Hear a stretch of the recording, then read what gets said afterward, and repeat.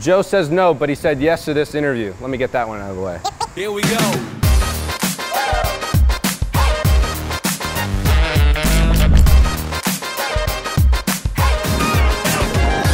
Ladies and gentlemen, welcome back for season two of Between Two Posts, presented by Coca Cola.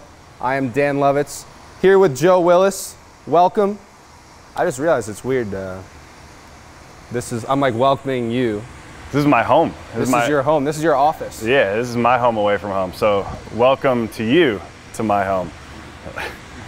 We could switch roles. Tell me what inspired your mustache choice? It's a great question. Um, Is there an individual? Is it a lifestyle choice? a little bit of both, actually. Okay, Uh, excellent. I was, uh, my wife was about eight months pregnant at the time. That's usually when that decision happens. Yeah, for so most people. I knew that um, you know I was soon to be a father, and and I felt like I needed to really tap into the full potential. I didn't mean to.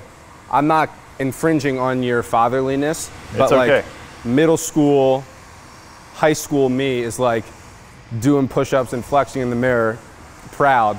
Actually, Yeah. I still do that, but like very proud that like this is happening right now. I have this ability. Are all goalies weird? If so, why? Are you weird? I will say yes. I, I think it comes with the territory. You spend a lot of time just standing there by yourself, Yes. isolated from other people. Yes. and, Isolation's very, very good way to characterize it. you know, you can only like sing the same song in your head a certain amount of times before you start getting some weird thoughts. Exactly. So, to my my next question off of that is, when the defense is playing sick, Which you guys so hopefully, often do. hopefully that's the case. Is there like a go-to daydream or song for you? It's all kids songs now. What are some of the favorites? My wife, my wife takes the baby uh, to some music classes. 'Kay. And they have like a whole playlist, and we listen to that on repeat at the house right now. What is your favorite part of being a dad that surprised you the most so far, aside from the mustache? Not to get too sappy and emotional, Sap but it up, baby. just seeing like the little changes every day, um, and watching her grow, and, and seeing her do new things, and like She's not cursing at you yet, so you're fine. not yet, yeah, not yet. So That's usually month nine, right? Yeah, I think Okay. so. I think so. She said "mama" and "dada," and and I definitely was was tearing up a bit first time she said "dada." So Yeah, so that sort of growth and progression, have you, is that sort of similar to what we've experienced with Jack over the, you know, last two, two and a half, two and one third years? no, No, not, I don't not, think so. not at all. I don't think so. Jack might be the first ever um, rookie three years in a row. He, he hasn't shed that He rookie wore the hat, and he liked the hat so much Yeah. that he has kept it on. Yeah, I, I am seeing like a little bit more facial hair out He's, of him. he's giving it a shot, not like this. no, Talk to me about how you became a goalie. Was it like, were you always a goalie, or did somebody, you just got to a point and they were like, hey man, you're pretty big. You're kind of big. You're not as fast as the other kids, but you can kick the hell out of the ball. We have an idea for you. Here's some gloves. Is that what happens? pretty much, yeah. Did, was it like a tough day or?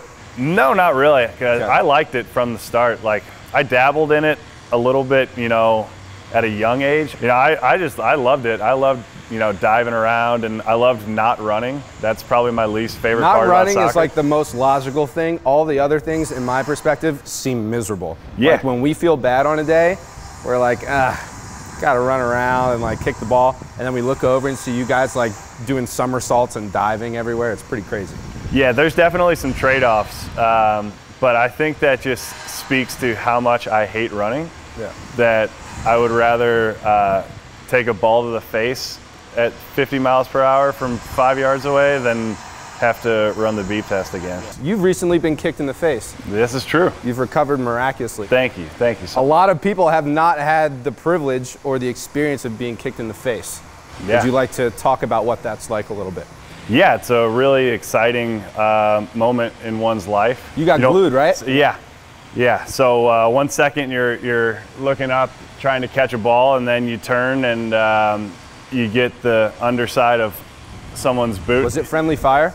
No, it was. Uh, there was nothing friendly about it. It was very malicious. The- I had the pleasure last year at Red Bull. I got kicked in the face by a gentleman whose name I can't pronounce, and now I hide it with this beautiful piece of facial hair. It's like looking in a mirror. It's it's uncanny All right, we're gonna we're gonna stick with the goalie theme because because that's what I am.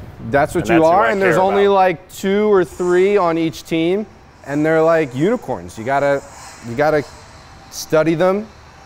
So while you're here, we gotta peel your onion a bit. Yeah. Um, do you think goalies get enough respect? at times, goalies get don't get enough respect, and I would say at times goalies get too much respect. And what is the mediating variable in that? Hairstyle. Hairstyle's a big part of it, for Tell sure. it's hairstyle. For sure. Uh, I mean, take me for example. Nobody knew who I was until I grew the mustache, and That's exactly now right. People don't know that. I mean, my face is on billboards. to that know. effect. People didn't know who Walker was until he did the hair thing. Exactly. And now, remember we had the open training? I thought like Fabio or Ryan Gosling walked in the stadium and I look turn over and he's just flipping his hair without the tie on it. He's Yeah. doing hair stuff. It, it's there is a correlation there. Hair makes you in the big time, it gets you all the stuff. What is the weirdest place you've ever had your gloves on? A furniture store. Was it a commercial? It- no, it was the weirdest appearance I've ever done. What Uh, team? It was with Houston. Naturally. I don't know that they like advertised it or promoted it at all. No fans really showed up. I think maybe one or two who knew about it showed up. Other than that, it was like people just shopping for furniture and they would like stop by the booth and be like, "Oh, yeah, this is a nice table. Like, how much is this?" I have tried on gloves before and I haven't been able to get rid of the smell. How do you deal with that? The the smell of the gloves is by far like my least favorite part about being a goalkeeper. Do you throw out a new pair of gloves because of smell or because of like functionally they're tearing? functionally if they're tearing? You've never thrown one out because they smell too bad? I mean, if they're if the grip is still good enough, I'll deal with it. The issue is you don't want to dry them out too much. So like you kind of have to let the sweat simmer in there. You can wash them, but that only we're does cooking so much. steak right now. Yeah, it's it's pretty gross. It's, I mean, it smells hard. It is like the most haunting smell I think I've come across. I literally have to wash my hands like two to three times after I shower after practice just to get the smell off of them. What is your favorite moment so far with Nashville? Just because it's fresh on the mind, opening the stadium Yeah. was incredible. That's When- totally fair. When we when Randall scored the goal and and the crowd just erupted, it was like gave me goosebumps. It's a feeling that like you don't I, I don't really get, you know, anywhere else. It's just like a rush of adrenaline. You don't you don't do that kind of thing other places like Really? when I'm at the park, uh, you know, with the with the baby, sometimes I get it, but People say that you have the look of someone that hasn't missed a Dave Matthews Band concert in eight years, or someone that's like a consistent contributor to a subreddit called If I Were a Pizza Guy. Which one is like more likely to be true? I think I would have a lot of fun on that on that Reddit. Um, Yeah. but I would say the other one's probably more accurate. Big DMB guy.